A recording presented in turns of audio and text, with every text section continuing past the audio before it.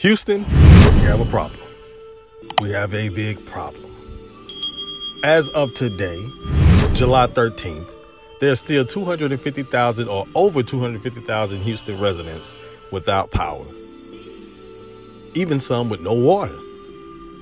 And I might have been downplaying those numbers because it might be over 500,000 people still without lights in the greater Houston area. And I'm here to tell people, I'm here to tell people who are thinking about moving to Houston because Houston right now, and it and this has been going on for some decades, has been experiencing a population boom. A lot of people, especially black folks, love the idea of moving to Houston. For a lot of people right now, Houston is the new Atlanta. And I'm here to tell you, hold your horses. You might want to reconsider moving to Houston because now the cons are most definitely outweighing the pros. Straight up.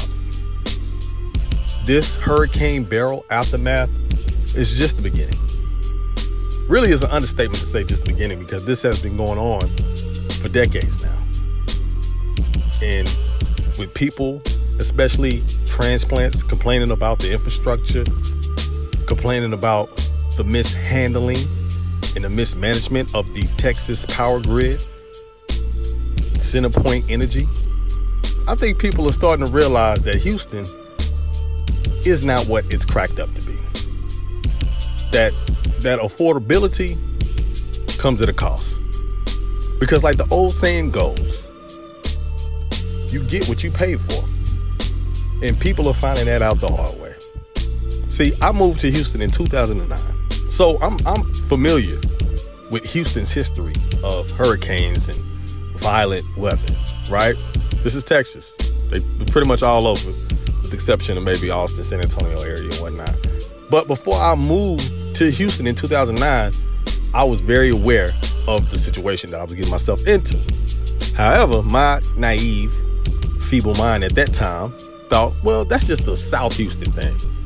Or if you stay close to the to the coast, then you don't have to worry about hurricanes. You don't have to worry about constant flooding. Bullshit you.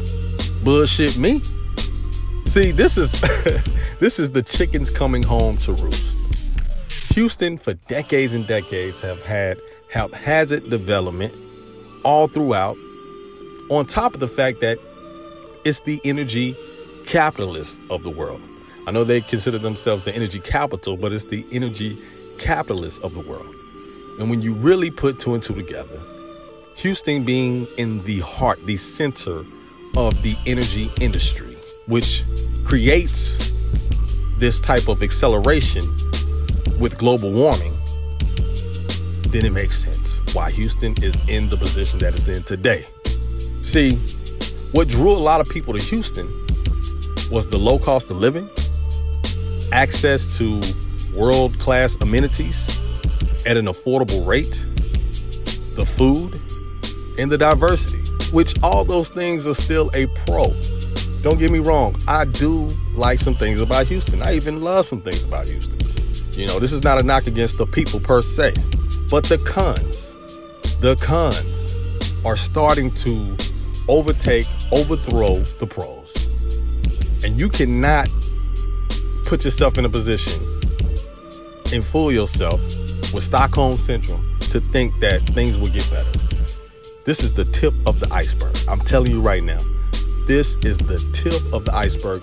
These violent weather events are becoming not only more common, but becoming more intense.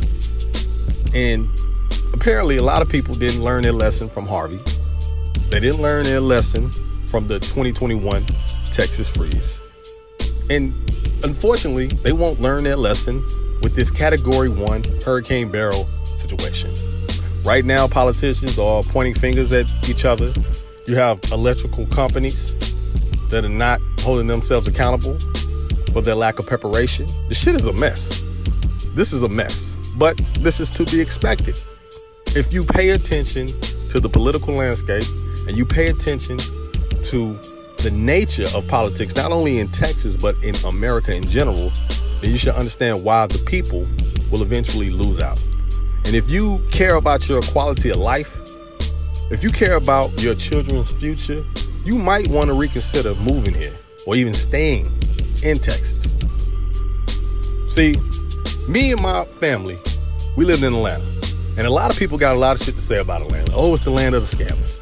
Oh, traffic is bad, which traffic is horrible in Houston. And yes, there's a lot of scammers in Houston, just like anywhere in America. A lot of people have a lot of shit to say about Atlanta. Atlanta this, Atlanta that. But one thing you don't have to constantly worry about in Atlanta compared to Houston is violent weather, is inadequate infrastructure to the point where where neighborhoods and highways and freeways easily flood within 10, 20 minutes of heavy rainfall. You don't have to deal with that on a consistent basis like you do in Houston. And now, as I say this, people don't have water, they don't have power. And this is a major American city with no power, no running water. And you thinking about moving here because you think it's gonna get better. You think things are gonna change if you just vote your way out. I'm, I'm here to tell you. Politicians, red or blue, are compromised. This is a bipartisan issue. Yes, I understand that the Conservative Party has a lot of blame because they run Texas. And they have pushed policies in place to make things worse, like privatizing electrical companies, corporations, which causes deregulation and causes more room for error. Yes, they have a whole lot of blame for this. But you don't think these Democrats, specifically in Houston, are compromised? You don't think they take donations from these energy corporations? You don't think they're taking these donations? I can tell you right now, if you're in Houston, Texas, go to a neighborhood in southeast Houston. It's called Manchester. Actually, this was a city. This was a city, an old city before it got annexed by the city of Houston. But go to Manchester, study that, research that, and go to this school that sits right across the street from a Valero plant. And you will see who the sponsors were, who founded and built a playground. And you will see all kinds of politicians, all kinds of energy companies, also developers who had a hand in building this playground for this school that sits right across from a Valero plant, which causes all kinds of internal and external issues with human beings in close proximity to this plant. But you'll see Democrats who signed off on this school still being in proximity to these plants. Matter of fact, I'll go on record to say that oil and gas industry is so dominant in Houston that it literally built the city the way the city is developed, the no zoning, I'm pretty sure oil and gas had a hand in all of that, whether indirectly or directly. The reason why Houston and Texas in general, but especially Houston, is so car centric is due to oil and gas because oil and gas industries benefit more from a car centric city than one who relies on public transportation. This affects everything, y'all. This affects the environment. I know some people don't believe in global warming, but Houston is a prime example of that. And this is only going to get worse. Again, I'm telling you, if you are thinking about moving to Texas and Houston is on your list, dig deep. Dig deep and say, is it really worth it? Because the cost of living is only getting higher. I, think you might want to reconsider that. Hurricane season is not even over with yet, so we might be prepared for another hurricane.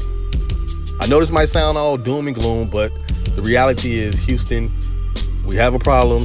Houston, you've been had a problem. And yeah, just buckle up and prepare for worse. And don't expect your politicians, your leaders to do right by you. Don't pray this shit away because it's not gonna help. Don't vote. Don't vote away. If you want to vote, vote with your feet and move the fuck up out of Houston. With that said, don't forget to like and subscribe. Until next time, holla.